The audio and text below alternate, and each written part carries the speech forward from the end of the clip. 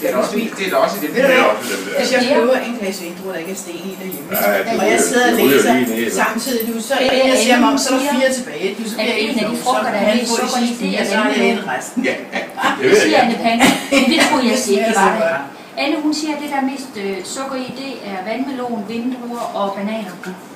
Men det troede jeg godt nok ikke, det var i vandmelon. Mm-mm. Der er rigtig meget frugtsukker i. Hvad vil Nå, jeg? nå, Have you nå, got nå, that? nå, nå, nå, nå, nå. Have you eat? Nej, nej, nej. Jeg lidt. Jeg har også en. Jeg gør det. Ja, det er Ja, faktisk. Nå, nå. Mm. So fresh. Mm.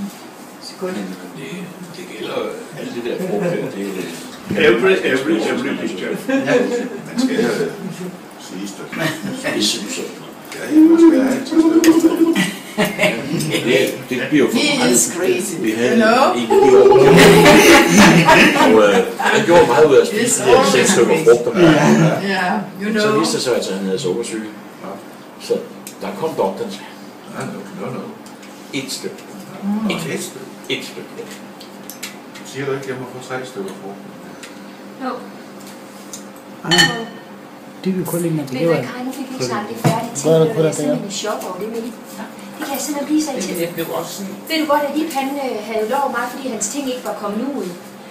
Så har jeg sagt til ham, at han sagde godt, for jeg kunne ikke, jeg ville jo ikke købe på grund af hans ting. Han har jo fyldt hele den ene side over, det må han hjertens gerne. Men han er jo nødt til at rydde sammen på hans ting, for at de sidste af mine ting kunne være her. som lørdagen, der havde vi Så- egentlig tog afsted. Ja, så har jeg også sagt, at han skulle komme søndag eller mandag ordentligt. Det har han sagt, det skulle han nok ordne. Fordi at så Karin kunne få flyttet de sidste juleting derover, så kunne mine ting komme væk og komme derover. For jeg kunne ikke begynde, jeg ikke begynde at rydde rundt i hans ting, vel?